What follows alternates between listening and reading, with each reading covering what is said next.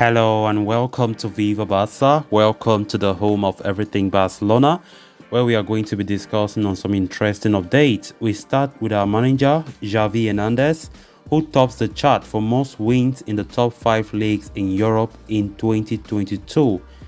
So impressive, isn't it? We are going to be discussing on that as we progress. Then secondly, talking about our goalkeeper, Marc-Andre Ter Stegen, who is reportedly eyeing the Zamora Trophy win after a fine start to the season. We are also going to be discussing on that. So guys, as we get right into it, please do ensure to subscribe if you haven't. Turn on the post bell notification to always stay notified whenever I post a new video. Consider liking the video and please watch it right up to the very end. On Saturday evening, Barcelona secured a 3-0 victory over Elche at Spotify Camp Nou to go to the top of La Liga standings. It was a convincing performance from the team after the midweek defeat to Bayern Munich. The result meant that Barca have now won 5 of their 6 matches in La Liga this season in a row after drawing the first game of the campaign against Rayo Vallecano. The team is starting to take shape, great shape under Xavi Hernandez as manager and given the quality and depth in our squad, there is a very good chance that Barca could go all the way in the league this season. Saturday's win against Elche saw Barcelona equal some goal scoring records set by Pep Guardiola's Barca back in 2010-11 side. At the same time, the victory was Barca's 19 in La Liga in 2022 from 26 matches. So it means that Xavi has now won the most have the most wins in the top five leagues in Europe in the calendar year, going past Liverpool boss Jurgen Klopp, who have 18 wins in 25 matches. Xavi is also ahead of Real Madrid manager Carlo Ancelotti for the on that list for most wins in Europe's top 5 league competitions in 2022, with the Italian tactician achieving 17 victories from 24 games this year. As far as their fine start to the new league campaign is concerned, 16 points out of a possible 18 mean this is Barca's best record at this stage of the season since 2017-18 when Ernesto Valverde led the team to 6 straight wins. You know, things are certainly looking up for Barca under their club legend Xavi. And despite Real Madrid winning Atletico Madrid in the Madrid derby yesterday 2 goals to 1, Barca still look like real contenders for the La Liga title this year under Xavi's management. So it's really great to see how Xavi have been developing Barcelona to becoming a team that we all wanted to see, a team that competes for trophies. For the longest time, we have not won La Liga. I think since 2019, when Valverde was in charge, Barca have not won La Liga for three and a half years, which is a disgrace in, when it comes to Barca standards. But with Xavi, we have hope. With the way we have been seeing the team competing, we have the hope.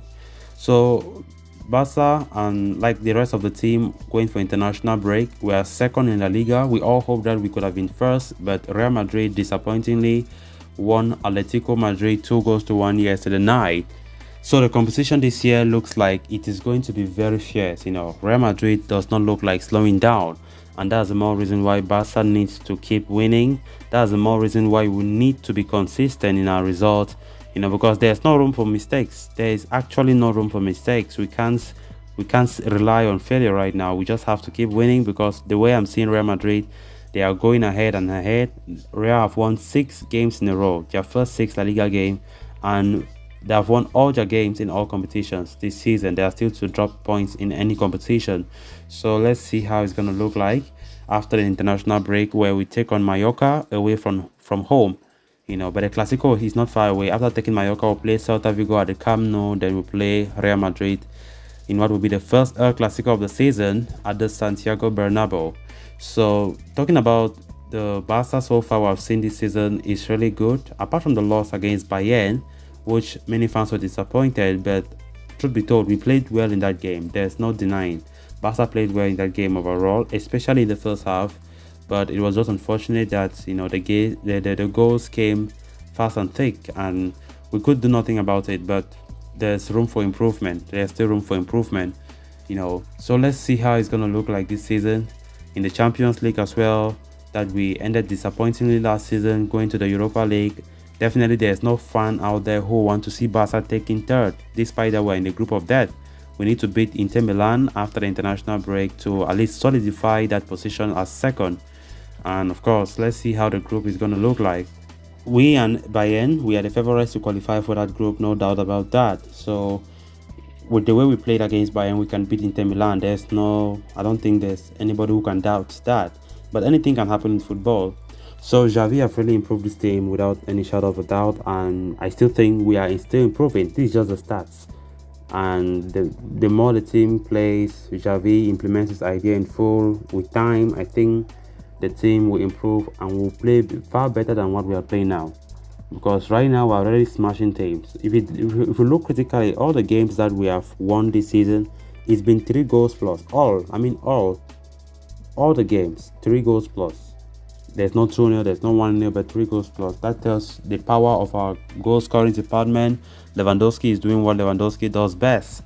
And it's really great to see how the team is playing. Then moving on to the next story of discussion. Among several of Barcelona's success stories so far this season, one of them has been goalkeeper Marc-Andre Ter Stegen. The German international has shown signs of returning back to his brilliant best which is a key factor behind why Xavi's side have started the 2022-23 campaign in fine fashion. Why Barcelona are gunning for the La Liga title and success in the UEFA Champions League. Some of the players could also be eyeing individual prizes. For starters, Robert Lewandowski looks uh, locked in for the Pichichi Trophy following his explosive start to the season, and as per a report by Sport, goalkeeper Ter Stegen has his sights set on winning the Zamora Trophy at the end of the season. The German international has been at Barcelona for 8 years now but has never ever won that coveted trophy given to the goalkeeper with the lowest goals to game ratio in La Liga for that season. While he is here to win the award, it would be ridiculous not to bet on the former Borussia Mönchengladbach number 1 to be the victor of the accolade this time out, considering he has considered a mere goal in 6 league games so far. Apart from now Newcastle United striker Alexander Isak strike in Real Sociedad 4-1 defeat to Barcelona on match day 2, the informed shotstopper is yet to be bypassed in the division. However, Marc-Andre Ter Stegen is yet to face stiff competition from um, Geronimo Rulli, who has also let just one goal past him until this point of the campaign. But it is likely that Ter Stegen beats Rulli at the end of the campaign considering Barcelona a superior team on the whole and are only getting better and better under the keen eye of Xavi. Winning the Zamora Trophy, of course, will round up a season of redemption for the one much uh, maligned goalkeeper who has started the new season like a house on fire. So guys, with that we have come to an end of this episode. Thanks a lot for watching. Until next time, it's bye for now.